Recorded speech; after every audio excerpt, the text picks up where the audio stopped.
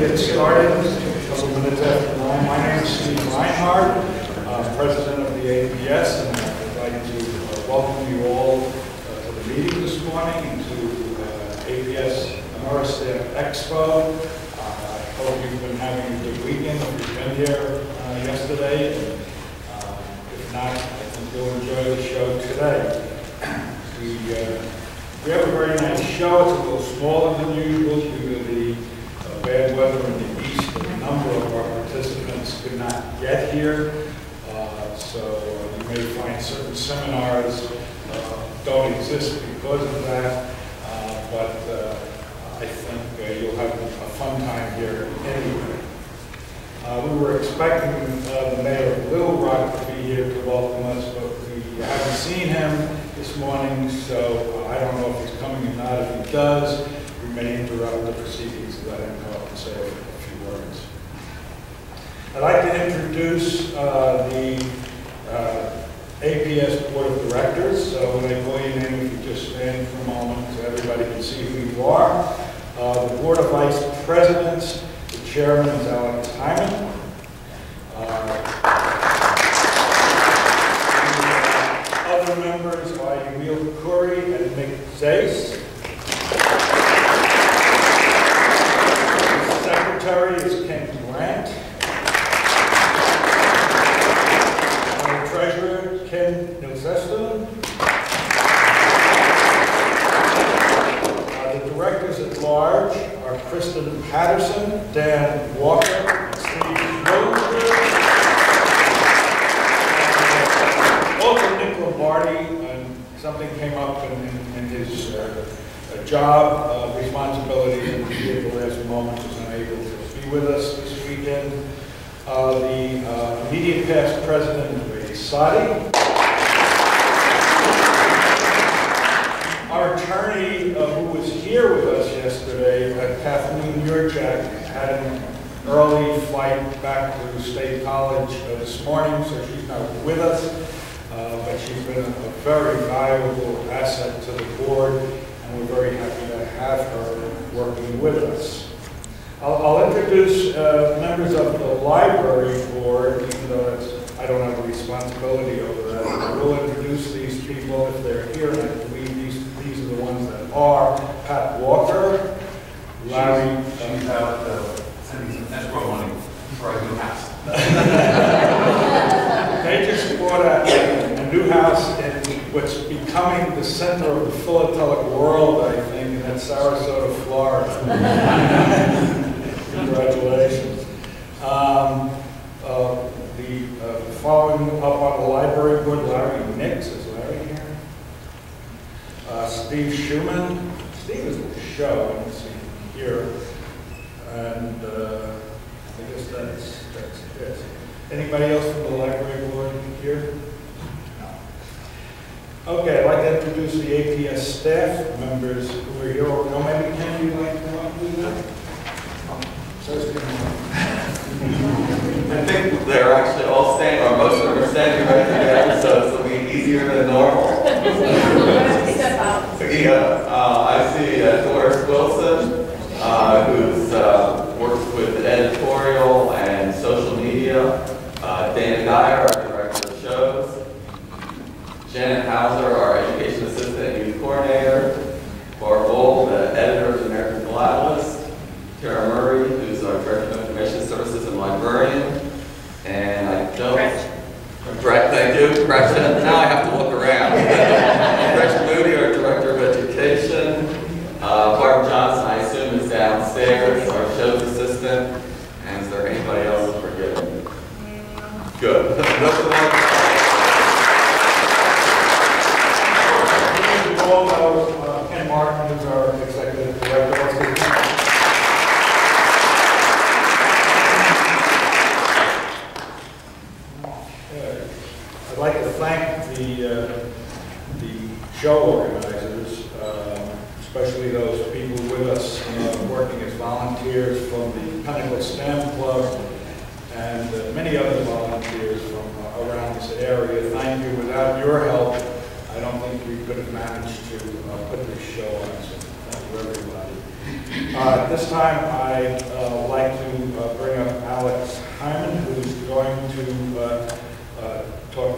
about the young Philatelic Leader Fellows, and then after that he has a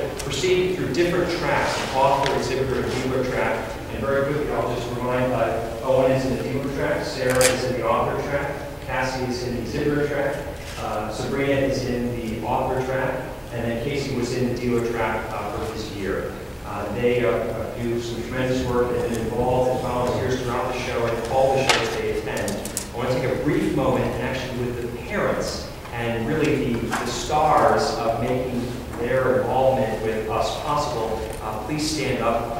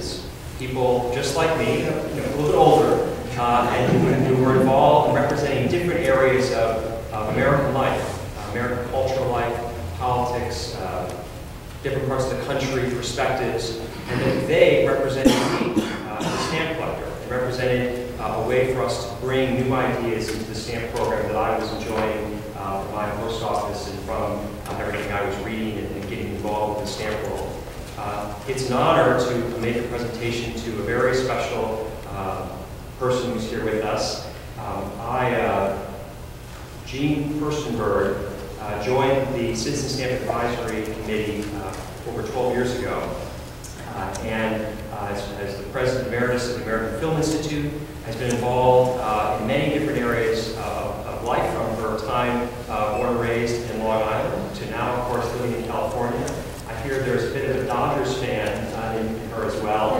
Um, I'm pleased to also report that one of my favorite stamp issues over the past several years the Simpsons issue was also one that you had a role in. and I'm uh, also very thankful for that. Uh, additionally, as I, as I basically grew up with only classic movies, uh, basically the, the interest of my parents, uh, that you were also very uh, important, instrumental in getting the Legends of Hollywood uh, initiated, and all of us enjoyed those issues so very much. I would invite everyone beyond today that you'd like to see Jean again in the very near future to join her for First Day ceremony of the Charlton Heston stand uh, this upcoming spring. Um, so, Jean, if you would uh, join me up here, please.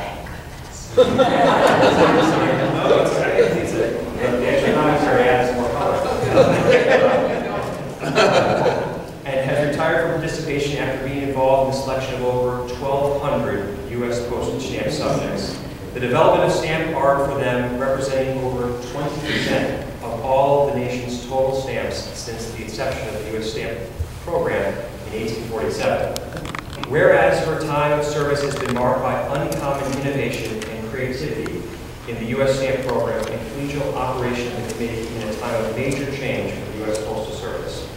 I know who wrote this. And whereas, whereas Ms. Firstenberg has possessed and applied in her devoted service a rare blend of substantive knowledge of the United States, understanding of stamp collecting, and a high level of leadership skill, so that the U.S. stamp program reflects both credit on the nation, on the U.S. Postal Service, and is attractive to new and established collectors alike.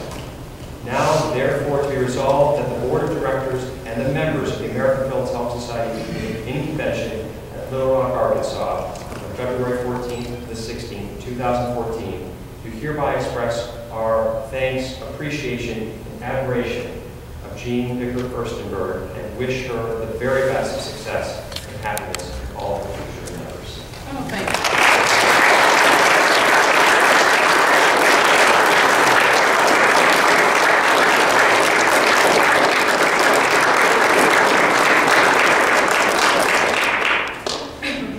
Alex, you did that really well. Thank you very much. I, uh, I am not a collector, and I really did not um, appreciate what all of you have done, uh, and what you mean to uh, the United States, really. What I was fortunate enough to uh, be appointed to the Citizen Stamp Advisory Committee, I learned um, so much from um, two of your past presidents. Um, John, how long did we sit next to each other on the committee? Uh, 10 years, no, it's seven, eight years. I have watched John Hotchner write more postcards. What's so amazing about John Hotchner is that he can multitask better than anyone I know. Because he knew everything that was going on and everything, uh, he, he, explained to me the world of your work. Uh, And then, uh, when John's term was up, uh, Janet Klug became my next teacher. And um, as you all know, there is no more passionate uh, advocate uh, for your world. And her presentation at uh, the CSAC meeting uh, of what it means to be a collector and what stamps mean to the country and the world um, is a magnificent, magnificent story. So um, these friends uh, uh, and I have had a lot of fun. I'm very happy that my 12 years are up because um, these are hard times for you and for the Postal Service uh, and for our country. Uh, These are hard times because everything is changing. And uh, it's really an honor to uh, be succeeded by Janet Klug because she brings uh, that passion and that intelligence and that um, leadership role to, um, I think, really helping the Postal Service uh, move forward. So I think you are in great shape with this young man right here. Uh, And and Steve, you, you, uh, uh, you know the issues, you know what's ahead, but uh, I'm delighted to be here with my friends and delighted that uh, the weather in Los Angeles is beautiful, the weather in Rock is beautiful.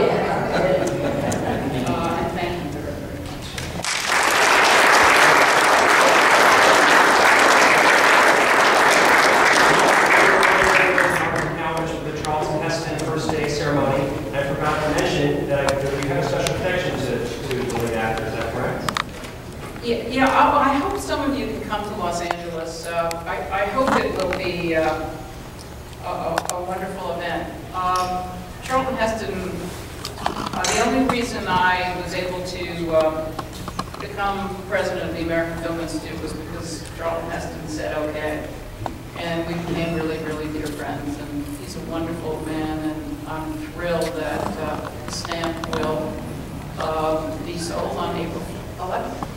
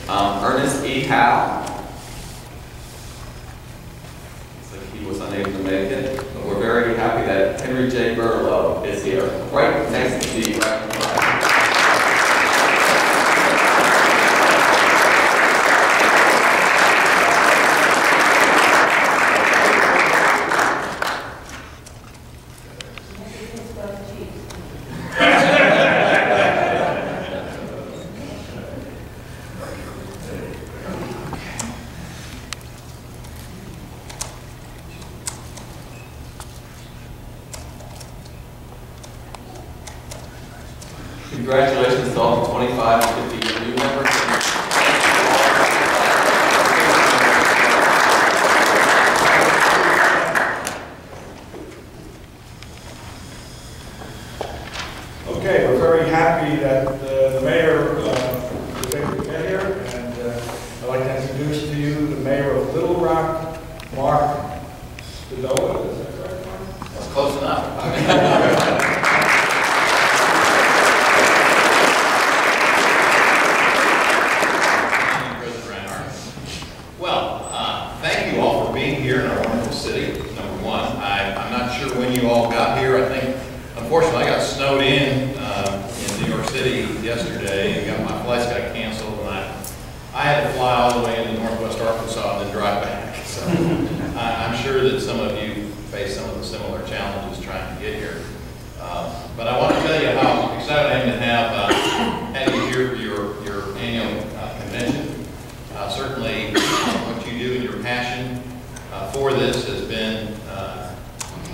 impressed upon me by one of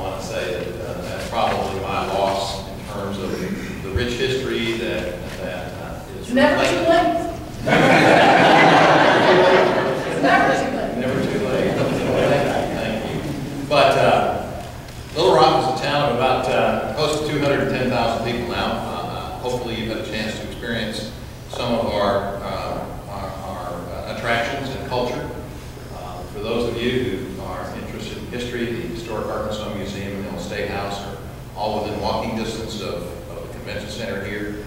Uh, actually, we have eight different museums that, that are all within walking uh, distance of Museum of Discovery. Uh, we've got the Arts, Arts Center, uh, the Mosaic Templar, which is uh, gives uh, tribute to the, the African American heritage of our state, and so many different things. And of course, Central High and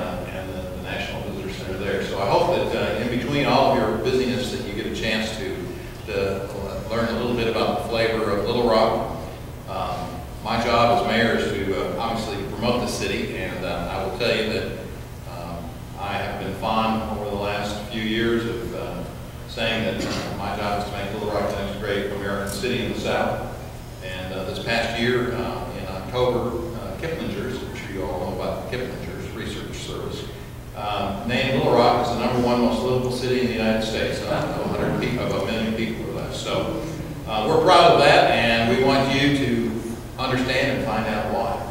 Uh, to do that, sometimes you've got to give one of your leaders an opportunity to open up every door. And so I would like to present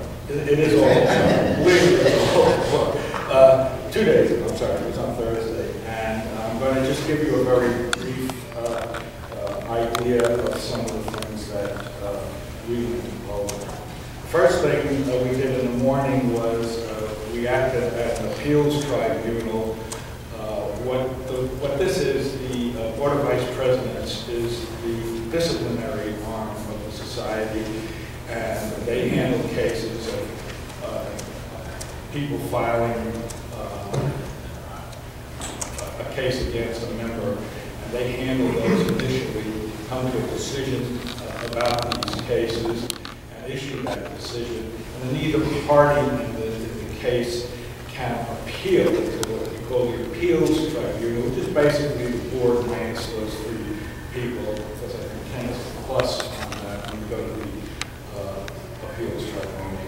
And we had one case, and and although I cannot uh, tell you about the case, uh, the appeals tribunal uh, made a decision on that, which is the final decision, that will be reported back. That's it as far as the APS goes. The appeals tribunal is the final arbiter of, of uh, our disciplinary process. After that, uh, we went to an executive session, and we handled a number of things.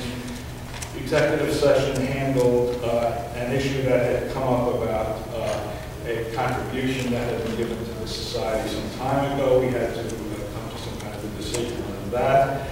Uh, We decided, uh, we we approved the uh, reports from the Luff uh, Committee Award and from the Miller uh, Committee Award, the names of people who get those awards this year.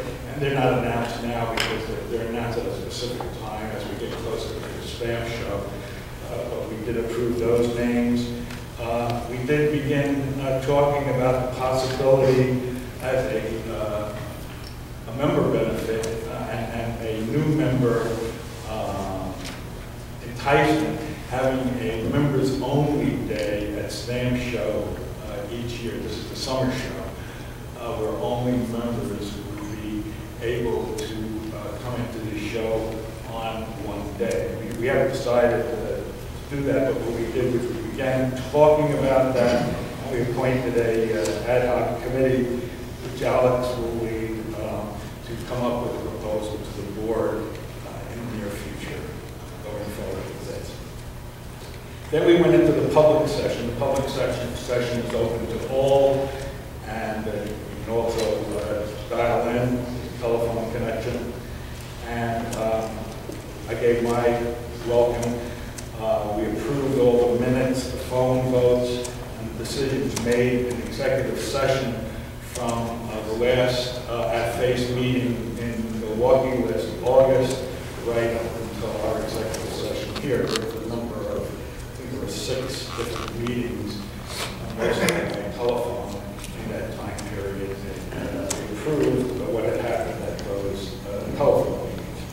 And then we went into the reports section. The first report was from the society attorney, and as I said, she isn't here, but told me, to tell you that we have no uh, ongoing litigation at this time, so you will be happy to hear that, I think.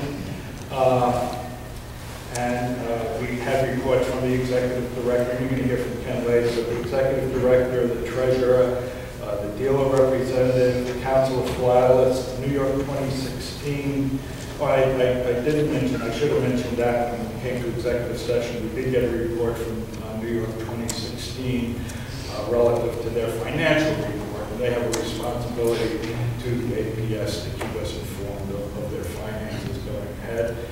Um, there were reports from uh, the accreditation committee, the membership committee, uh, the Postal History Symposium and Aerophilately 2014, the Stamp Buddies Committee, and some of these uh, you will hear a little about uh, later. They were just Then we went into old business, and here uh,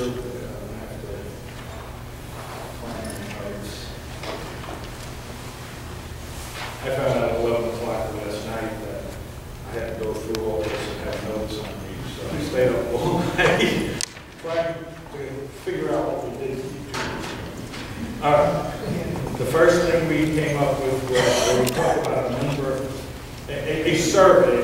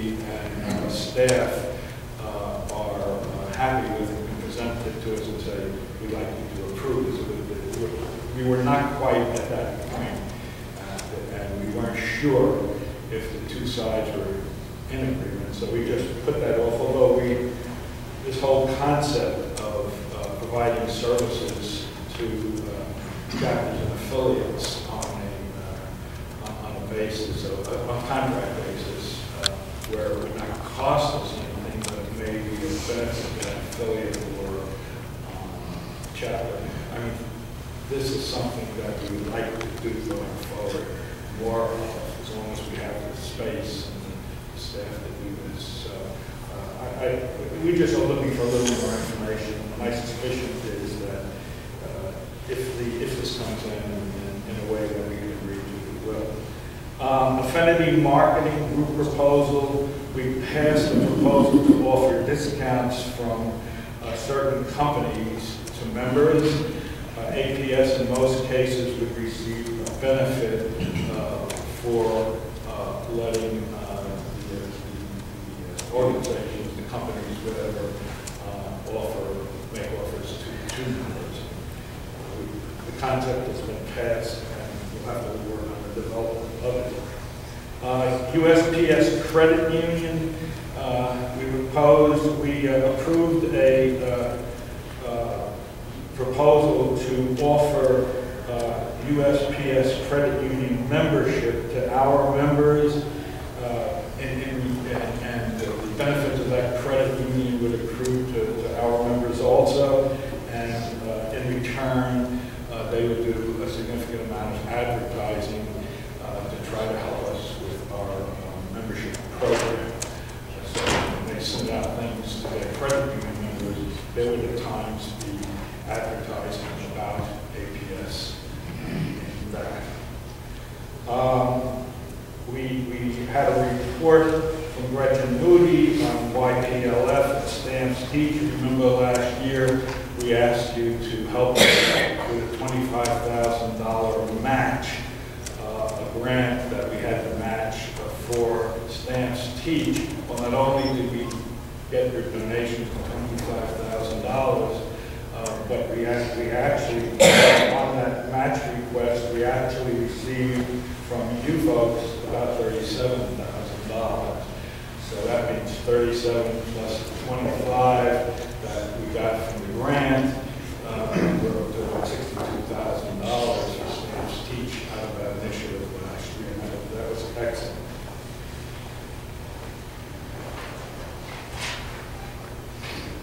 We spoke about the uh, winter show in 2016. And 2016 is a special year. Uh, 2016 is the year of our next big international show, in New York in 2016, in uh, late May, early June. Uh, So it's a little, it's a little question about whether we should even have a winter show that year.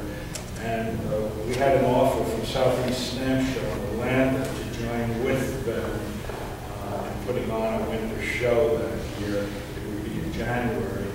We were a little, we had some questions about Atlanta in January, so.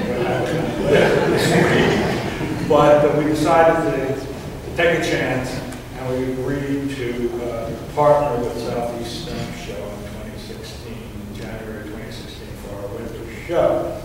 But then going forward, that's a special year, as I said, going forward, beginning in 2017, uh, we decided to try to avoid the winter months of January February as much as possible. We we directed our shows department to come up with uh, proposals uh, for the winter show that beginning in 2017, that would fall in the months of March and April instead. And hopefully we'll avoid some of the problems that we had getting people to this show. No problem with the show, obviously, the weather's beautiful, but people on the East Coast, uh, many of them couldn't get here because their flights being canceled. Um, You know, there's going to be another international show 10 years after the one in New York. It's in 2026. And we have to begin, it's, the APS has the uh, responsibility of selecting the venue for that show. And even though we don't run the show, it's run by an independent organization, uh, we we do have a connection. We are the federation in the United States that that has control over where that show is going to be. And we, we're going to start the process of deciding where that show will be in 2026. We're going to start it in in Hartford, at this year's summer show, where we'll- we will be offering groups who are considering uh, applying to have the next FIP show in their location after the New York show, I'm talking about 10 years after that. Uh, We're going to offer uh, seminars for them so that they can know what's involved, how to, how to uh, affect uh, applying uh, to APS, uh, to have the show in their venue, uh, and so that everybody who who has an interest is fully, is is given all of the information, fully informed about how to go about it and what's involved. That will happen in Hartford, and uh, the uh, applications to the APS will come due at some point between the Hartford show and our winter show next year in Riverside. Uh, And uh, the final presentations to the board uh, will take place, uh, by these groups, will take place in in Riverside uh, next, uh, next year, the winter show at Riverside. And then the selection will be made by the board either at or shortly thereafter. That's the process that will be used there. Um, We talked about uh, Tiffany donors at, uh, of the campaign for philately. Uh, There was a recommendation uh, that we approved that included uh, that in the future, we call the Tiffany donor, only cash contributions would be considered, uh, at kind, in-kind contributions would not be considered, and that uh, to become a Tiffany donor, you would, as it is now basically, you would need to give $1,000 in cash over a a four-year period. And once you've done that, you would be a Tiffany donor for the rest of your life. Uh, And uh, so it would take a thousand dollars for your period, you could become a Tiffany donor.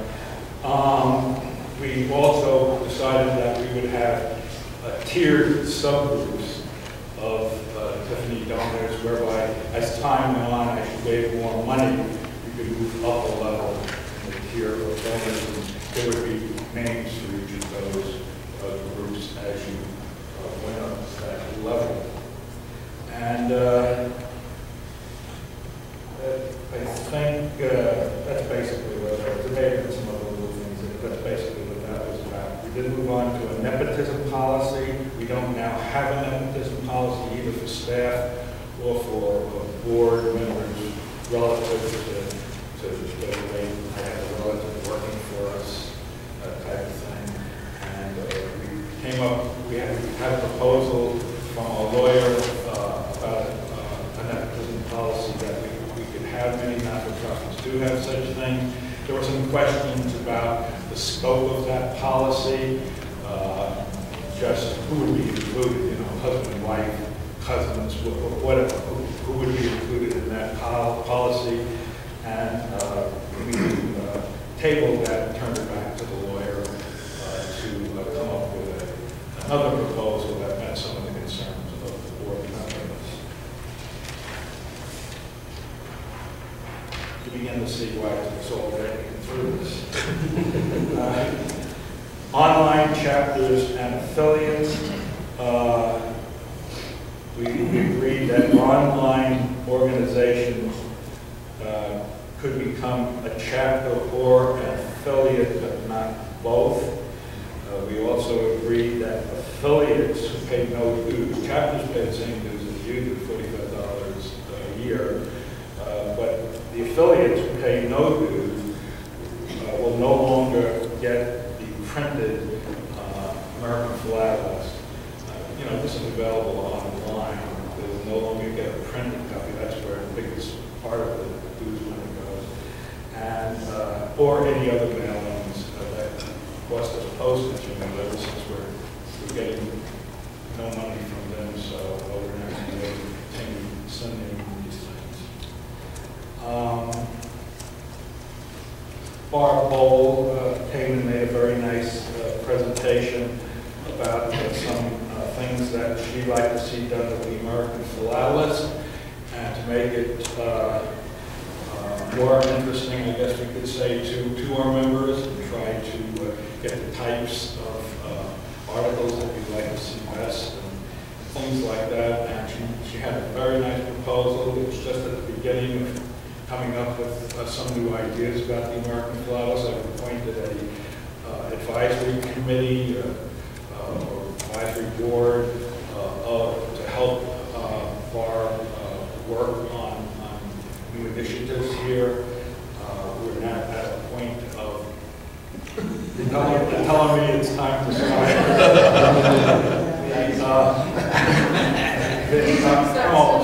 They're, The initiatives, uh, we're not ready to roll anything out yet. There is a cost assigned to each of these initiatives, I think, and there will be going forward. We're just going to have to, again, factor that into our budget to see what we can do and what we might be able to uh, not continue to do that maybe is not any great reward for us. Uh, But anyway, uh, it was a nice presentation. Thank you both for that. You don't want to quiet that, trying to cut me off? Yeah, no.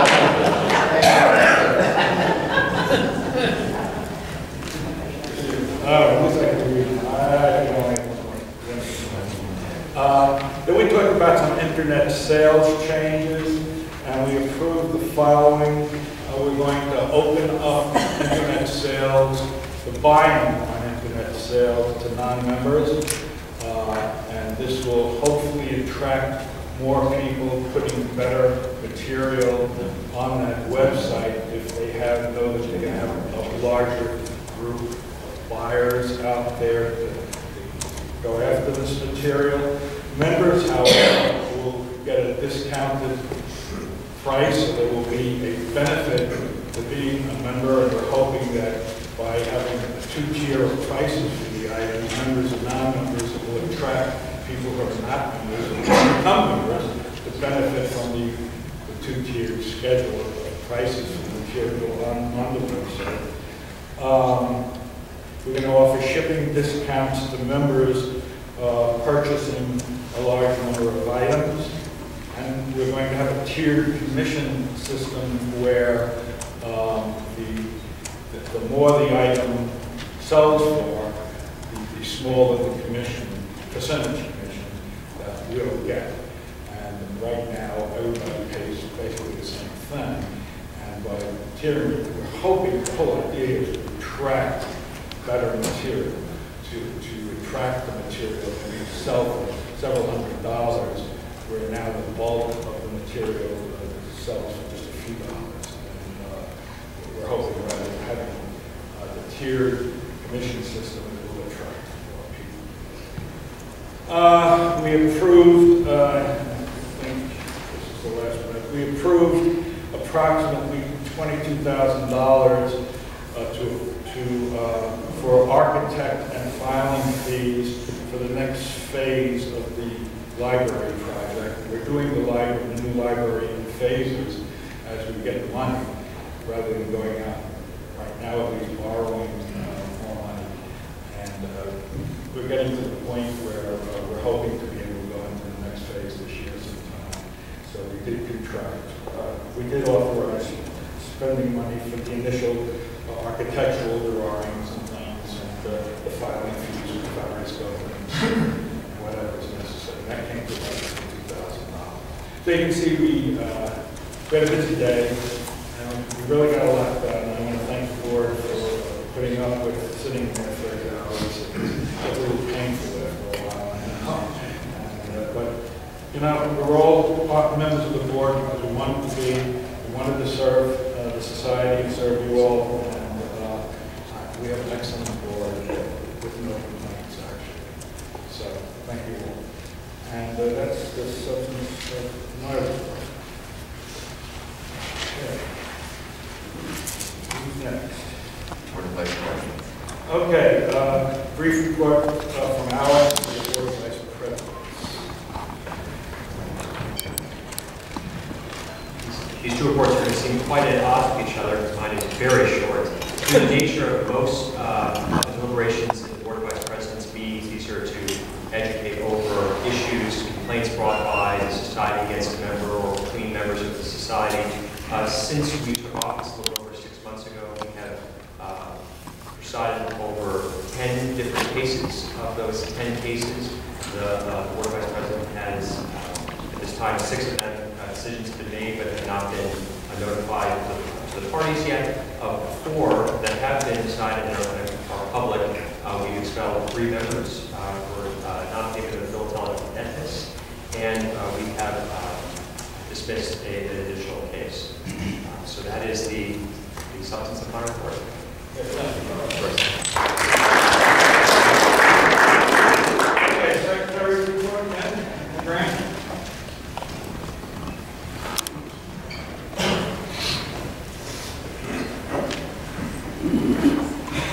As usual, I have an extensive report to make. I've taken the minutes of the society, I hope as accurately as possible, membership as promptly as possible. Thank you very much. I don't know, the lights didn't go out for him.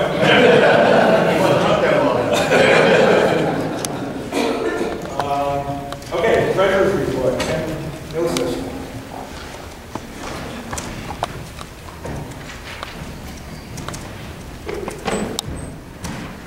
Mine will be about the same way. We had a pretty good year in 2013. We had a surplus at the end. Despite the references to us being a nonprofit organization, we are really a tax exempt organization, and we are happy to have money left over at the end of the year. Um, We have a budget in place for 2014 that should- that anticipates us making a little less money at the end of the year. Uh, On the other hand, it's very hard to forecast 12 months in advance, so we'll see how things come along, uh, things come along during the year. The Finance Committee meets regularly by telephone. We discuss our uh, investments and their returns with the investment advisor. We have done that. She was on the phone with us yesterday, or Thursday. Uh, Having, expecting to be here, but having had travel problems because of the weather. So, that's the treasurer's report. Doing fine. Okay, but we can always do more. Revenue, all good. Thank you. Society attorney, I already told you there's not much going on. Uh, Executive director report. Come on. I'll be short. I don't think this was turned on. I heard somebody. Uh, probably the last person needs it, but I'll turn it on anyway. Um, I probably won't be as short as the last few, but I'll try to be considerably shorter than Steve. Um, and, and I would just point out that most of this information, the board agenda, supporting documents for all the board meetings are available on the APS website. We even keep them available on the APS website. As of this morning, I think there's still a link to the front page so you can look at uh, various actions and supporting information. And Ken Grant has been very prompt and we will probably have some draft minutes up uh, within a few weeks at least. I'm trying to give him, maybe, maybe more prompt than that, but I don't want to put too much pressure on him. Um, and included in those was a 12-page report that I had. I'm not going to go through and read all that by any means. I will highlight a few things. As Ken Nilsestuen said, we did have a balanced budget. We, we, we met our, this was the fourth consecutive year using general accepted accounting practices that uh, we were in balance. Um, so that's good. Um, and, you know, we, we still have a membership loss we're trying to cope with, but moving forward, filling up the space in the American Philatelic Center, we have additional tenant income, which will help for the next two years. Um, so that we, so we're, we're certainly hopeful that we'll continue to balance it into the near future. Fundraising, it turned out to be a pretty good year. We took over a million sixty thousand dollars in cash gifts. Uh, so thank all of you and thank all the membership and thank the foundations as well. Uh, American Philatelic Center Development, um, the next e-newsletter will actually have a link to a webcam for our, the, the tenant that we will add in April, May. They've actually already signed a lease. They signed a lease several months ago. Uh, they've changed their name to Big Spring Distillery, hopefully giving you another reason to come and visit the American Philatelic Center in Bellefonte. Um, but they will move in. We had two additional tenants move in this past year. Uh, at this point in time, we're basically filled. Parking is tight for the tenants. We have enough space for visitors. The only space that there's parking right now typically is right by our entrance. Um, but uh, it doesn't mean we're, we're looking at alternatives to try to find more parking because when the library gets finished, there's some possibility of additional tenant space. Um, membership, as I quickly alluded to, we're still losing members. Um, but for the calendar year, we were down about a thousand, a little bit over a thousand members. At the end of January, we were down 954. If you take it on a paid member basis, exempting the life members 835, which is what affects the income more than anything else. Um, that's the smallest loss in about uh, in, in many years. Um, I think since uh, smallest lowest 12 month difference since November 2007, but it's still a loss. It's still going the wrong way. Uh, we still have excellent retention. 90.1% of our members were retained. Our problem is not signing up enough new members, and we need all your help with that. Um, volunteers, as we, in order to balance the budget, not only getting tenants, but we actually have, we've had to cut some staff over the last few years. We've tried to pick up some of those, that, that loss with volunteers. Uh, during 2013, just at the American Philatelic Center, we had 14,607 hours of volunteer service provided.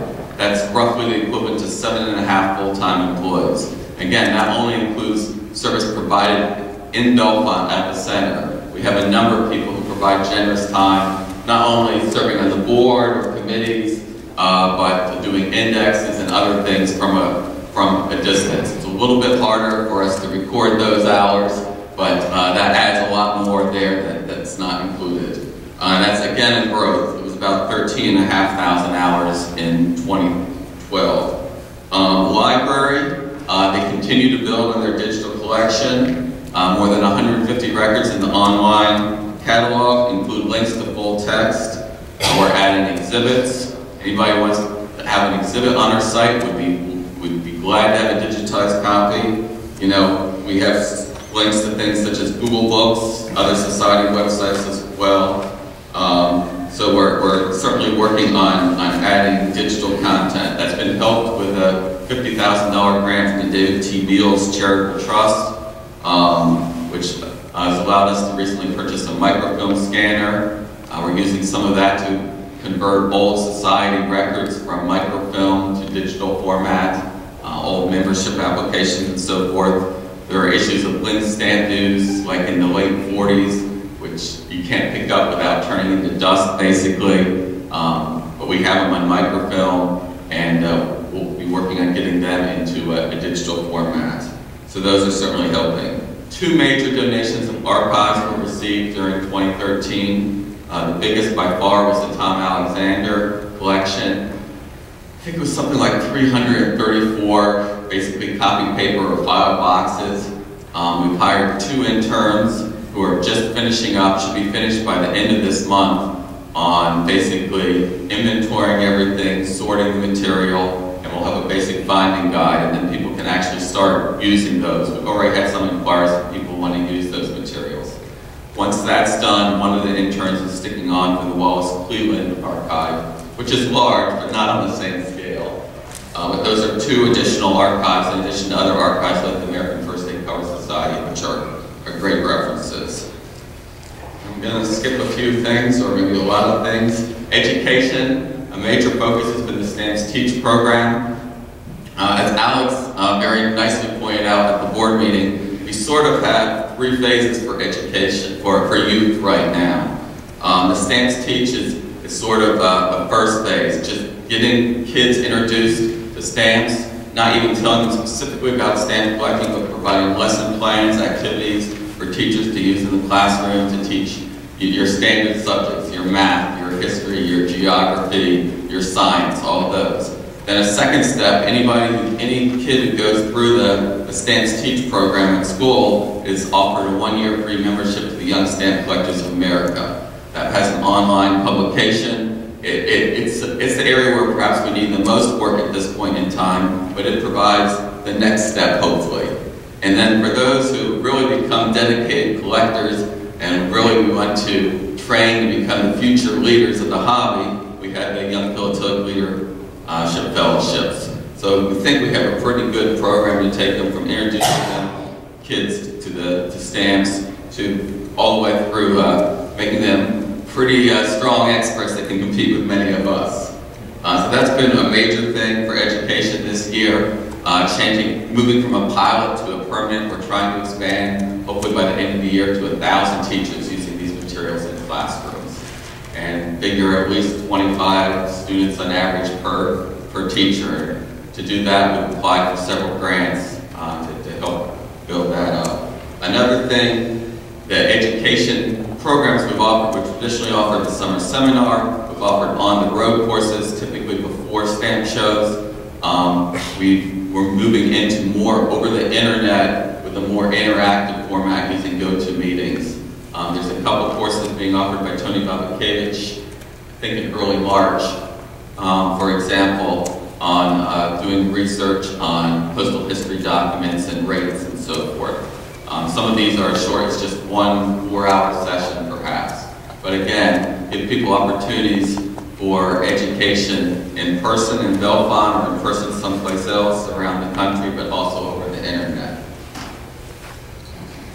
Uh, expertizing, I'm happy to uh, tell you that the last seven months of 2013, there was an improvement in the number of submissions every month over the previous year in 2012. Uh, overall, for the year, we had about 13%, over 13% more submissions. Um, and we, we continue to keep the turnaround time is a little bit under 40 days. Um, with, we, we offer expertising for everything, can't do it all in-house. We have close to 150 experts around the country, and to, to be able to turn around the average time in about 40 days, I think is pretty good. Uh, circuit sales, we were just shy of reaching a million and a half dollars in sales in 2013. That was down a little bit from 2012, but was up over 2011. Um, the clearance circuits continue to be very popular uh, way for people who had books in circuit sales for 18 months, still have remnants, getting rid of the remainder. A couple hundred thousand dollars of that million and a half, or almost a couple hundred thousand was in the clearance circuits. Um, IT website has over a thousand pages. Uh, that doesn't include all the links to documents and so forth on the website. We've also, uh, at Stamp Show last year in Milwaukee, at this Stamp Show, we've introduced mobile apps. We're looking at a mobile app for the Stamp Store as well. I would hope to have one sometime during this year. Begun offering chapters to design and host basic websites for chapters. There is a fee for that. The first two that have requested are up. We have a third request. I would expect that one will probably be done in the next week or two. Um, it's again, we're trying to do it on a, a service for a chapter or affiliate, which hopefully helps them promote the hobby as well and get out because some of our chapters don't have anybody who feels they have the expertise to even do a basic. Um, I think that's pretty much. Uh, there, are other things, shows and so forth, but I want to keep. I don't want to take any more of your time. I think the, the show is open. I think we're going to shortly go into an open session, but uh, I want to, of course, the whole thing again is available for anybody to read on the website. Thank you. Okay, thank, thank you, Ken. Uh, Michael Bloom uh, has a few things he wants to tell you about buttons.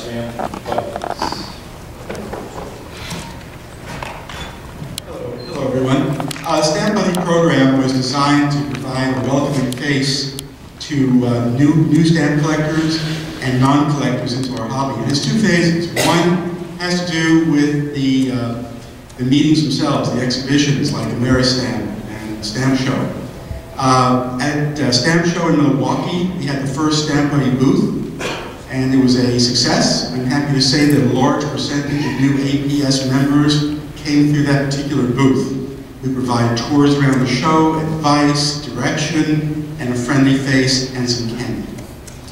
Uh, these shows are being expanded. Uh, the next step for us will be WSP shows, of which there are about 30 around the U.S. Uh, they will have the opportunity to participate and have Stamp Buddy booths with APS providing a kit for turnkey booth. We've received interest from ASDA to have a Stamp Buddy type presence at their shows as well, so that's going well. The other half of the program has to do with mentoring on a one-to-one, personal, face-to-face basis. We now have uh, seven clubs scattered throughout the U.S. who are pilots for this program of setting up Stamp Buddy mentors and Stamp Buddies to work together, again, face-to-face if possible, if not by video, phone, or what have you. Uh, the early learning from that program is that the clubs themselves are really not that good at bringing in new members and non-collectors. So the thrust of the program now is to teach clubs how to reach out to non-collecting groups. For example, senior centers, museums, state fairs, and so on. And you'll see a workshop on Sunday at 11.30 on how to revitalize your club using these outreach methods. Thank you. Thank you. Let me just uh, explain how we're going to continue here. Uh, First, Larry Lyons has asked for a few minutes uh, to come up and talk to us. Um, After that, we're going to adjourn the formal part of the meeting and then immediately open the town hall part of the meeting where you will have the opportunity to ask questions and uh, make suggestions or or whatever. And we'll carry that on uh, for a while until we're able to to handle whatever. Larry?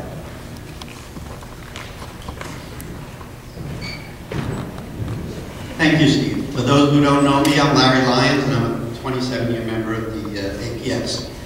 Um, I've given this, uh, I've asked for a couple of minutes to address you uh, with a new initiative, a new idea that I've given a lot of thought to. And I wanted to present it and see if I can get some interest in this. And the question, this is a question period, the question is, can the APS uh, take on this initiative and follow it through. These are hard times, and we do need new initiatives. My suggestion is to add a virtual addenda to stamp shows. Offer uh, a certain number of shows for a certain price, offer the entire gamut of all the shows around the nation for a fixed price, um, and I'll be the first one, the first customer to register to do that. And what this will do is you will take every, you will ask every exhibitor to provide uh, scans of their exhibits so that um, anyone comes on site can, for that show, can view every exhibit at that show. You can also add all these exhibits um, on your own site afterwards.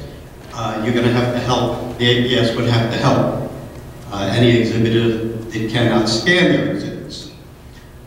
I would say we should set up uh, virtual sales booths, which I will take both, um, to sell stamps um, uh, virtually rather than face-to-face. Um, It can be sorted by subject as well as by uh, dealer or seller. Uh, So what you can do is you, instead of walking through 50 or 100 booths and saying, do you have such and such? You can see it all at once, right there on the site for that show. Um, The APS should take a percentage of all the sales, perhaps handle everything through a credit card, um, and receive the percentage, uh, like antique shows, receive a percentage for putting on a show.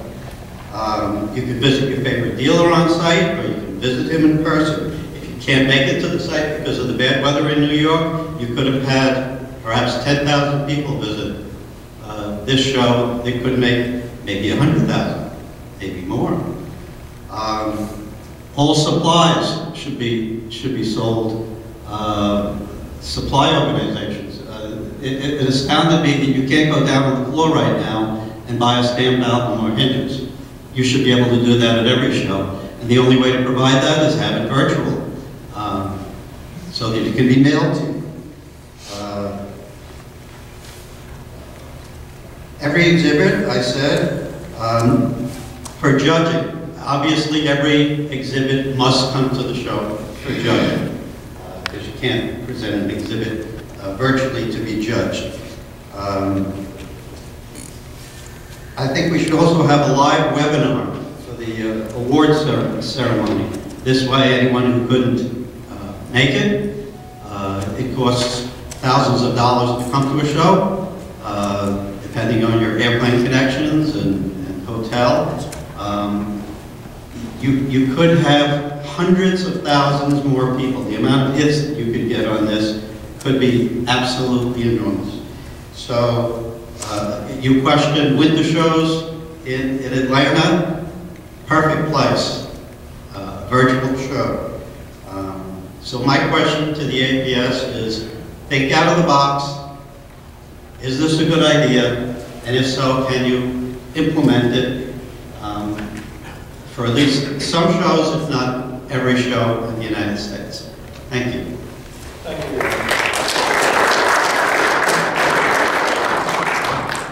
What I would suggest, Larry, is uh, you put this in the form of a- a written proposal, and then I'll, I'll, uh, I'll connect you with our technology division, and uh, you can begin by working with them.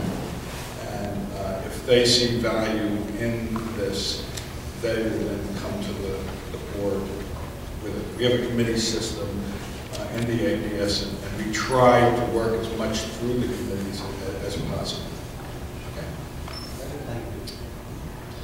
Okay, we're, we're going to adjourn the formal part of the meeting, and we usually adjourn the meeting. Uh, Ken, why don't you come up and, and you, you know the, the older members better than I do. Oh, just, just, why don't you just start by asking any member with a number under 30,000 to stand? All right, is there anyone here with a number under 30,000? We let the person with the lowest number adjourn the meeting. Is there anyone under 30,000? Like 40,000. Anyone under 40,000? Ah, go. Oh, got got two. Do you know your numbers? I bet you, is that lower or higher back here? 30648. JJ, I think you know the procedure? Yes, I hereby declare the meeting of the American Philatelic Society adjourned. Thank you. Okay, thank you all for coming. If you would like to stay now uh, for the question and answer session, I guess you might call it, um, please feel free to to stay. And I'd like the board members to stay if something comes up. Uh, Perhaps you can, yeah.